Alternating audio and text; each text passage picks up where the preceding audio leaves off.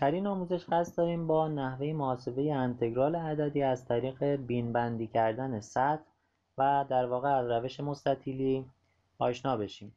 فرض می‌کنیم که ما به این صورت تعریف کنیم یک متغیر رو با نام n مساوی 100 که تعداد مستطیل ها یا بین هامون باشه و میگیم که a برابر با صفر باشه b برابر با یک.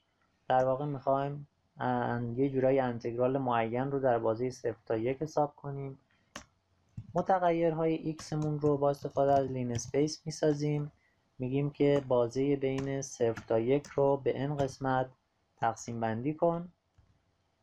برای محاسبه کردن انتگرال ما می‌تونیم به این صورت عمل کنیم که dx رو به صورت مستطیل ها در نظر بگیریم. یعنی بیایم بگیم که بازه های مربوط به x به چه زیر بازه هایی تقسیم بندی شده؟ مثلا ما می‌تونیم بگیم که b منهای a به صورت بازه های b منهای a تقسیم بر n. یعنی ما هر یک از مستطیل هایی که می‌خوایم به عنوان زیر منحنی باشه به این صورت می‌تونیم تعریفش کنیم.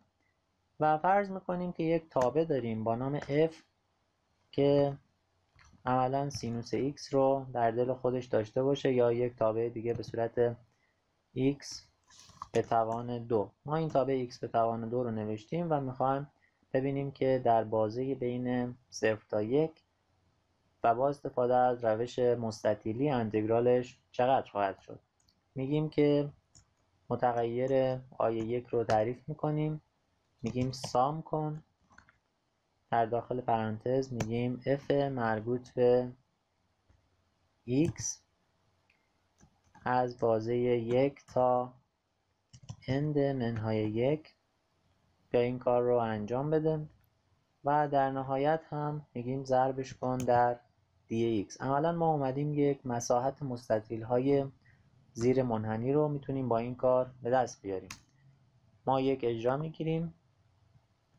مقداری که برای آیه یک محاسبه میشه مقدار 32 صدم هست و مقدار تقریبی هستش که با استفاده از روش مستطیلی برای محاسبه انتگرال زیر منحنی در بازه صفر تا یک استفاده شده.